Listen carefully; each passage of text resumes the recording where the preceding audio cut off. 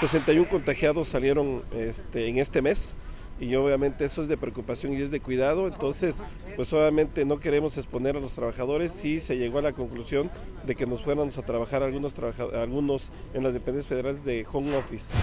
Pues obviamente ya están programados para que en marzo, ahora sí ya está el 100% en las dependencias federales, ya pasa el frío, ya entra otra temporada y lo que estamos tratando ahorita es cuidar a la gente para que todos ya regresemos a trabajar en el mes de marzo